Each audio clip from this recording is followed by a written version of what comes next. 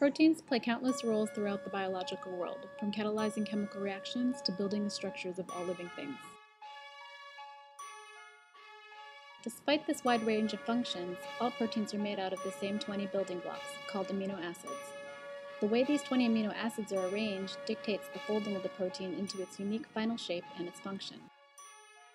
Amino acids are made of carbon, oxygen, nitrogen, hydrogen, and sulfur atoms.